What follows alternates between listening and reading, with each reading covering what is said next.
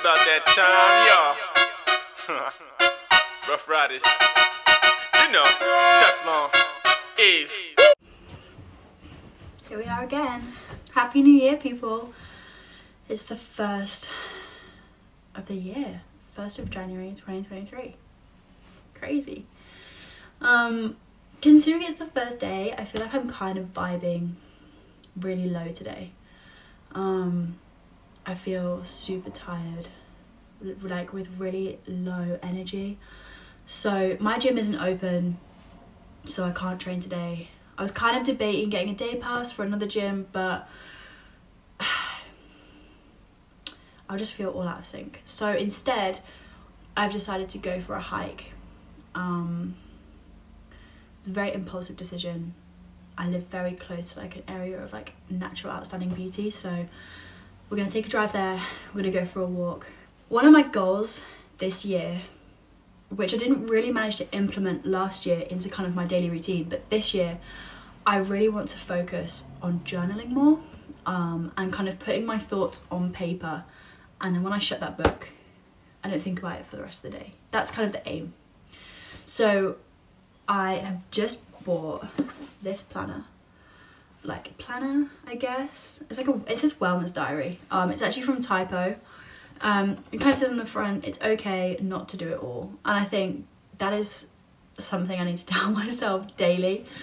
Um, it seems it actually seems really good. That's kind of how it looks. So it's a day-to-day thing. You've got enough kind of space to write, um, and at the bottom it says today I loved, I learned, and I achieved, and to kind of be aware of those feelings um, and kind of how each day feels. Like every day is not the same. Every day is different, um, and I think it's something that I've definitely wanted to kind of implement into my daily routine but didn't really feel like I found the right time to. So I thought, what better way or place to start than the first of the month and first of the year? So I'm going to take this with me on my hike. I'm going to find somewhere nice to sit. I'm going to take probably some food with me, go and kind of sit, have a bit of a write, have a bit of a reflect, how I'm feeling today, kind of just really be a bit more in touch with my feelings. And yeah, I think that's kind of the aim um, get some endorphins going from walking if I can't go to the gym. And then I guess hopefully start at the gym tomorrow. Um, I don't go back to work until Wednesday the 4th, so I still have a few days to kind of get a couple of gym sessions in, hopefully. Um, so, yeah, we're gonna go have a bit of a reflection period. I think it's really important in the new year, so yeah, you guys are just lucky enough you get to come with me.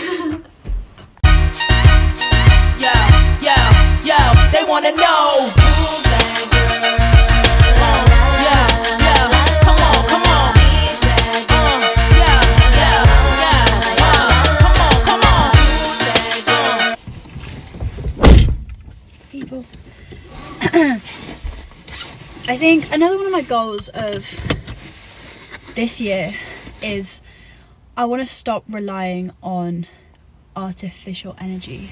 So, like, monster energy drink, like, I want to kind of get my energy sources from more natural kind of foods and yeah i'm really trying to cut down on my caffeine caffeine caffeine intake um especially when i'm at work so that's probably another one of my goals. So the sun sets at 4 it is currently 1.41 so it's 20 to 2 I need to drive there walk and then come back before the sun sets ideally. But yeah we're gonna get going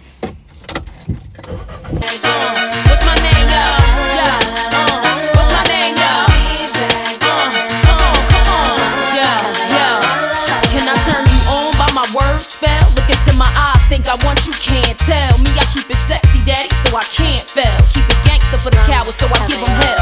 Call me misfit, lips for the gang of trash. Riskless now, cause I made a gang of cash. Like glam, still street with the do-rag. Slang, spit, gang, change speech, how they do that? Watch they mouths drop, watch the crowds pop up and act out. Brawls with the screw face, smash on. we made it um also those of you who want walking boots these are like super cheap from Nike, um, and they actually do a really good job. Um, so if you're wanting to take up walking in the new year, don't like run to a specific shop just to get walking boots. Like to be like, you know, all the gear, no idea kind of thing. Like I've had these for long enough, and they've been really good. So just a just a pointer. But yeah, so I always bring an extra pair of shoes with me anyway. Normally something like Crocs because my walking boots generally tend to be a lot tighter. Um, and obviously when you get back to the car as well, they're muddy. So it's really easy to just kind of slip on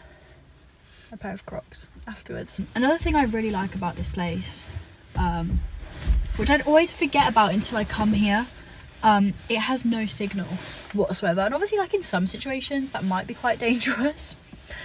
Um, but it's really nice because, like I say, like I'm coming here more to kind of get that headspace. So the fact that no one can kind of bother me or get hold of me until I get out of here is a really, it's just a really nice thing. Um, it's like I can't even explain kind of how blissfully peaceful that that is that in some places there is just no signal. Like we take it for granted um but actually it's really nice to kind of disconnect. We're ready to go. We've got the bag. The bag's ready to go. We've got the water. We've got everything we need. We're gonna get going. Gang of cash, like glam, still street with the do-rag. Slang, spit, gang, change speech, how they do that?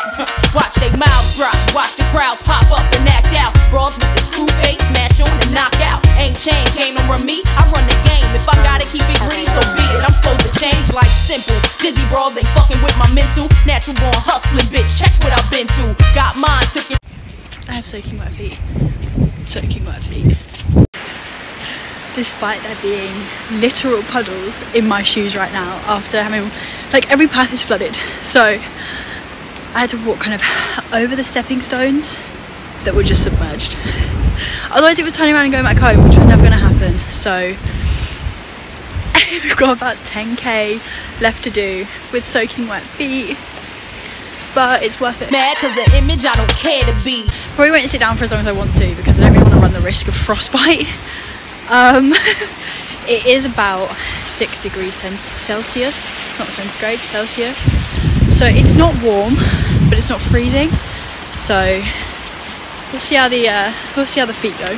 Left there, ain't known for frontin' vouch for my Kind of in my thoughts, and I just kind of thought to myself, when when was the last time I actually went on a walk? And I realised it was the start of October. Um, and the reason I kind of thought that was because every endorphin is flowing right now, and I forgot how good it feels to be outside in nature. And I think that's something that is a goal for 2023 is to get a walk every month. I feel like it's a very achievable thing to do. Like, what is it? On average, there's like 30 days in a month. It's a lot of days where you can take an hour out and go for a hike. So that's a goal. Each month, we're going to try and go for a hike for mental health and endorphin release. my hands are like water. Keeps that growing. I don't. I spend a lot of my time on my own, and that time can often be scrolling through Instagram, scrolling through TikTok, looking for kind of things to take my mind off the fact I'm on my own, I guess. Whereas now I'm in my own head walking around, but it just feels better. So, I mean, every single notification that I have for social media is off anyway. You ain't disturbing my shit. I feel like if you want to get hold of me, you have my number. You can text me. If you don't have my number, then ask for it. Kind of 2023 thing. Spend less time on socials. Spend more time outside. Spend more time learning. It's so easy to kind of get drowned by social media, what everyone else is doing, and none of it's real. Side note: I've never actually walked this way before, and it is starting to kind of get a little bit dark. it's just gonna be a day of getting lost, I think, which is always fun.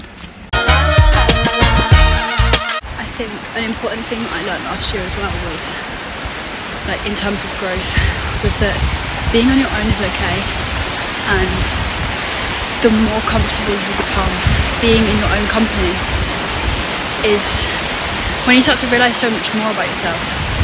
Um, you realise what you like, what you dislike. You're not influenced by other people's opinions. And I think until you're comfortable being entirely on your own, that's the time when you can let somebody else in, and that's the time when you can look for relationships or you can look for better friendships. But only at that point when you're completely comfortable being solitary, basically. I think kind of the first step to healing is becoming comfortable in your own. Becoming comfortable in your own company at first is terrifying. It's absolutely terrifying.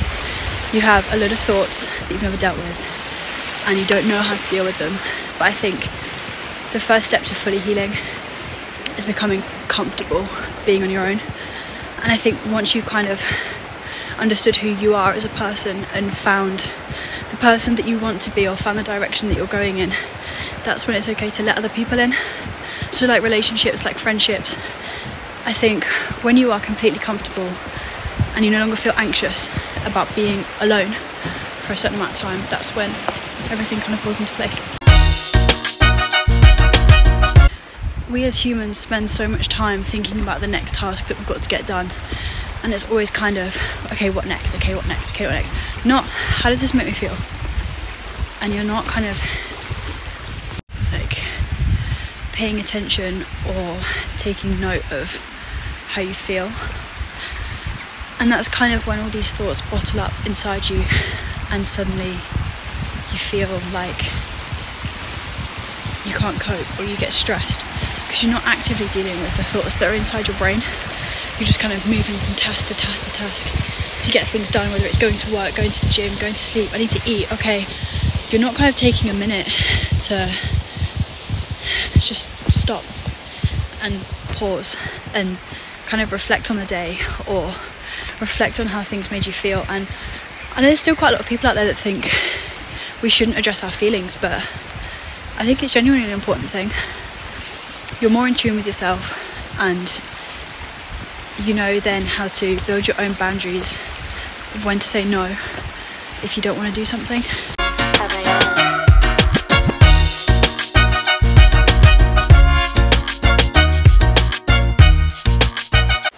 Think another big thing that a lot of people need to realise going into the new year is that if you don't like going to the gym, don't go. If you don't get enjoyment out of being there, don't go. Like, go and find something that you actually enjoy doing. Join like an adult gymnastics club, join a swimming club, join a rowing club, join something that is actually going to make you feel good. The gym should not be a chore, it should be somewhere that you go and you enjoy what you do in there. I hear so many people at work and friends who are like, oh, I need to take myself to the gym. I need to go to the gym. I need to lose weight. I need to go to the gym. That is like uh, 10% of what the gym actually is. The gym is basically it's basically a sport. If you don't like being there, don't go. You'll end up loathing going. And then you'll then you'll just kind of find yourself in this rut of I don't like going to the gym. I don't really want to be at the gym, but I'm here anyway. And you're going to end up spending money on something that you don't use. So find something you enjoy, find something you love, and do that as your exercise. My auntie doesn't go to the gym anymore. She does horse riding. She she absolutely loves horse riding, and that's what her money goes on. Rather than going on a gym membership and supplements and everything else that this Instagram gym community kind of tells you to get, go and do something you want to do and that you have a passion for. Don't don't let influencers influence you to do something that you don't enjoy. It's all about setting boundaries and knowing what you want from your life and knowing how you want to live that life.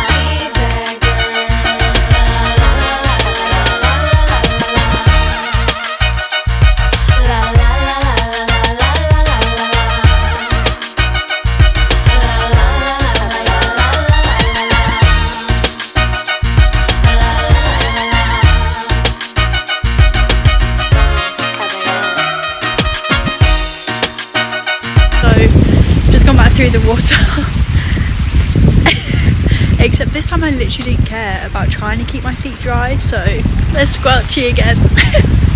I think that earlier I felt so flat on energy and my energy felt really low and off. Like, and I feel like this after a walk. Are you kidding me?